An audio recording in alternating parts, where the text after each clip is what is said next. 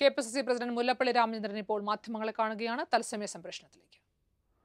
കൊച്ചു കൊച്ചു പ്രശ്നങ്ങളൊക്കെ തന്നെ ഉണ്ട്. ആ പ്രശ്നങ്ങൾ പരിഹരിക്കാൻ വേണ്ട കൃത്യമായ നടപടികൾ ഞങ്ങൾ സ്വീകരിച്ചിട്ടുണ്ട്. ശ്രീമാൻ ഉമ്മൻചാണ്ടി ഇന്ന് കണ്ണൂരിലുണ്ട്. അദ്ദേഹം ഇരുഭാഗത്തുമുള്ള ആളുകളെ വിളിച്ചുകൊണ്ട് പ്രശ്നങ്ങൾ പരിഹരിക്കാനുള്ള ആത്മാർത്ഥമായ ശ്രമം നടത്തുക എന്ന ദൗത്യം കൂടി അദ്ദേഹത്തിനുണ്ട്. ഈ മുഖ്യമന്ത്രിയെ വളരെ ശക്തമായി രാഷ്ട്രീയമായി എതിർക്കുന്നു അദ്ദേഹത്തിന്റെ ശൈലിയെ എതിർക്കുന്നു നയങ്ങളെ എതിർക്കുന്നു. അപ്പോൾ ഈ അത്തരം ഒരു എതിർപ്പ് രാഷ്ട്രീയ ലക്ഷ്യം മുന്നോട്ട് വെച്ച് പോകുമ്പോൾ ഇത്തരത്തിലുള്ള പ്രശ്നങ്ങൾ എന്തെങ്കിലും സാധ്യതകളെ ബാധിക്കുന്ന ആശങ്കയുണ്ടോ? ഒരു തരത്തിലും ഞങ്ങളുടെ വിജയസാധ്യതയെ ബാധിക്കുന്ന തരത്തിലുള്ള പ്രശ്നങ്ങളൊന്നും ഈ പാർട്ടിയിലില്ല. എത്ര കാലമായി താങ്കൾ തന്നെ നിരന്തരമായി മാറി വരുന്ന തെരഞ്ഞെടുപ്പുകൾ റിപ്പോർട്ട് ചെയ്യുന്നു?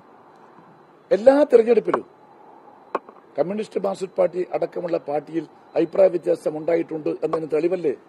ആലപ്പുഴയിൽ പ്രത്യക്ഷമായി അവർ ഇവിടെ ജാഥ നടത്തുകയുണ്ടായി. എന്റെ സ്വന്തം നാടായ കുറ്റിയാടിയിൽ അവർ എന്താണ് ചെയ്തത്? അവർ പ്രക്ഷുബ്ധരായിരുന്നു. കൊടിപിടിച്ചുകൊണ്ടാണ് പാർട്ടിക്കാരായിട്ട് അന്ന് പ്ര- പ്രതിഷേധത്തിന്റെ അലമാലകൾ ഉയർത്തിയെന്ന കാര്യം നിങ്ങൾ ഓർക്കണം. കമ്മ്യൂണിസ്റ്റ് പാർട്ടിയിലാണ് ഏറ്റവും വലിയ പൊട്ടിത്തെറിയുള്ളത്. ഞങ്ങളുടെ എല്ലാ തെരഞ്ഞെടുപ്പും ഉണ്ടാകുമ്പോൾ ഈ തരത്തിൽ ചില തരത്തിലുള്ള പ്രതിഷേധങ്ങൾ ഉണ്ടാകാറുണ്ട്. അത് പെട്ടെന്ന് കെട്ടടങ്ങും. ഞങ്ങളുടെ പാർട്ടിയിലെ പ്രവർത്തകന്മാർ നിഷ്കളങ്കരാണ് നല്ലവരാണ്. പാർട്ടിയെ സ്നേഹിക്കുന്നവരാണ്. അതുകൊണ്ട് തന്നെ ഇതൊക്കെ തന്നെ ശാന്തമാകാൻ പോകുന്നു. പ്രശ്നങ്ങൾക്ക് പരിഹാരം ഉടനെ ഉണ്ടാകുമെന്ന് നിങ്ങൾക്കൊക്കെ തന്നെ ആശിക്കാം.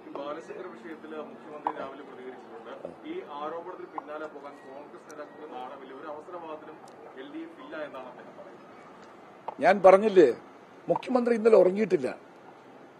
ഉറക്കം നഷ്ടപ്പെട്ട മുഖ്യമന്ത്രിയാണ് ഇന്ന് കണ്ടത്. അതുകൊണ്ടാണ് കാലത്ത് ഒൻപതര മണിക്ക് തന്നെ അദ്ദേഹം പത്രസമ്മേളനം നടത്തിയത്. ആ പത്രസമ്മേളനത്തിൽ അദ്ദേഹം എന്തുകൊണ്ടാണ് ബാലാശങ്കറിന്റെ പ്രസ്താവനയെ കുറിച്ച് പരാമർശിക്കാത്തത്? ആരാണ് ബാലാശങ്കർ? ബാലാശങ്കറിന് എനിക്ക് മലയാള മനോരമയിൽ ജോലി ചെയ്യുന്ന കാലത്ത് തന്നെ എനിക്കറിയാം. അദ്ദേഹം ആ കാലത്ത് തന്നെ ആർ എസ് എസിന്റെ പ്രത്യയശാസ്ത്രത്തിൽ ഒരു കോംപ്രമൈസും ചെയ്യാത്ത ഒരു ജേർണലിസ്റ്റ് ആയിരുന്നു അദ്ദേഹം. മനസ്സിലാക്കണം. അത് കഴിഞ്ഞ് അദ്ദേഹം ഓർഗനൈസറിന്റെ ഏതാണ് ഓർഗനൈസർ? ആർ എസ് എസിന്റെ മുഖപത്രം. അതിന്റെ എഡിറ്ററായിരുന്നു. ഇന്ത്യയിൽ അറിയപ്പെടുന്ന ആർ എസ് എസിന്റെ സൈദ്ധാന്തികനാണ്.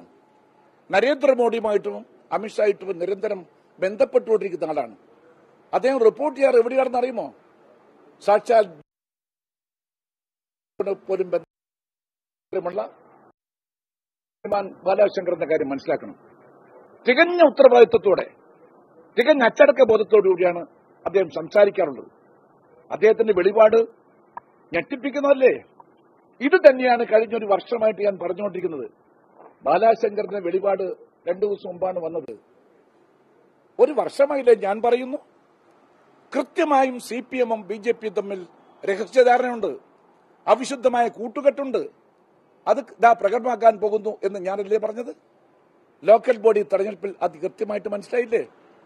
മഞ്ചേശ്വരം മുതൽ പാഠശാല വരെ ഇവർ തമ്മിൽ ധാരണ ഉണ്ടാക്കിയിരിക്കുന്നു വോട്ടുകളുടെ കണക്ക് ഞാൻ തിരുവനന്തപുരത്ത് വെച്ച് നിങ്ങളുടെ മുമ്പിൽ അവതരിപ്പിക്കണ്ടായി. ആരെങ്കിലും കോൺട്രഡിക്ട് ചെയ്തോ? ഒരാളും വരെ ഗണ്ണിച്ചില്ല. അത് കഴിഞ്ഞ് പല വട്ടങ്ങളും ഞാൻ പറഞ്ഞില്ലേ നട്ടലിലുള്ള ആൺകുട്ടി കമ്മ്യൂണിസ്റ്റ് പാർട്ടിയിൽ ഉണ്ടായിരുന്നോ ചോദ്യം ചെയ്യാൻ? നട്ടലിലുള്ള ബി ജെ പിക്കാരുണ്ടായിരുന്നോ ചോദ്യം ചെയ്യാൻ? ആരും ഉണ്ടായില്ല. ഏറ്റവും ഒടുവിൽ പറയേണ്ട ആൾ തന്നെ കൃത്യമായിട്ട് പറഞ്ഞിരിക്കുന്നു. ആർ എസ് എസിന്റെ ഇന്ത്യയിൽ അറിയപ്പെടുന്ന സൈദ്ധാന്തികൻ.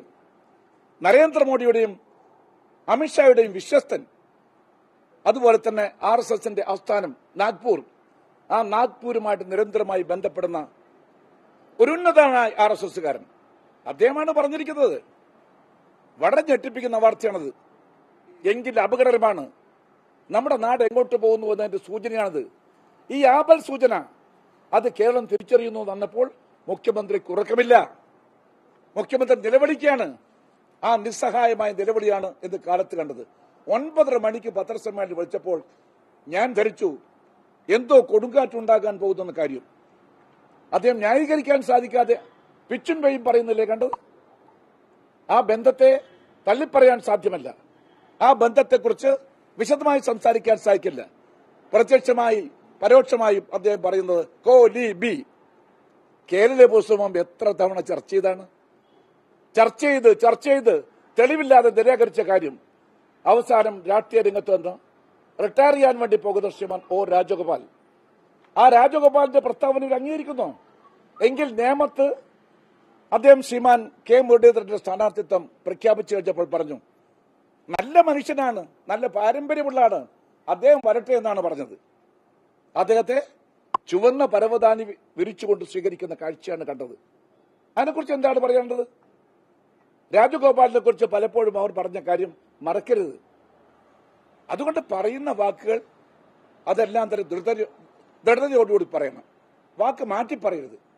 കമ്മ്യൂണിസ്റ്റ് പാർട്ടി എല്ലാ അർത്ഥത്തിലും ഇന്ന് പ്രതിക്കൂട്ടിലാണ്. ആ പ്രതിക്കൂട്ടിലുള്ള മുഖ്യമന്ത്രിയെ നമ്മുടെ കേരളീയ പൊതുസമൂഹം മതേതര മനസ്സുകൾ കുറ്റവിചാരണ നടത്താൻ പോകുന്നു. ആ ഒരു വെപ്രാളമാണ് ആ ഒരു പരിഭ്രാന്തിയാണ് ഇന്ന് രാവിലെ ഒൻപതര മണിക്കുള്ള അദ്ദേഹത്തിന് അടിയന്തരമായി വിളിച്ചു കൂട്ടിയ ഈ പത്രസമ്മേളനത്തിൽ നമ്മൾക്ക് കേൾക്കാൻ സാധിച്ചത്.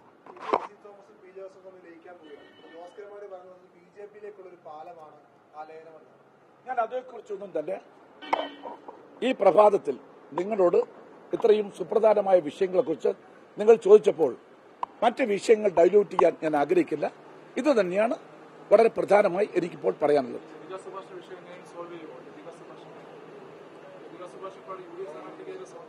അത് സോൾവ് ചെയ്യേണ്ട കാര്യം എന്താണ്? ഇന്ത്യൻ നാഷണൽ കോൺഗ്രസ് വിട്ടുപോയി സ്വതന്ത്ര സ്ഥാനാർത്ഥിയെ മത്സരിക്കുന്ന ആളെക്കുറിച്ച് എന്ത് പറയാനാണ്? അടഞ്ഞ അധ്യായം എന്ന് ഞാൻ പറഞ്ഞു കഴിഞ്ഞില്ലേ? അതിലപ്പുറം അതേക്കുറിച്ച് ഒന്നും ചർച്ചയില്ല. ഞാൻ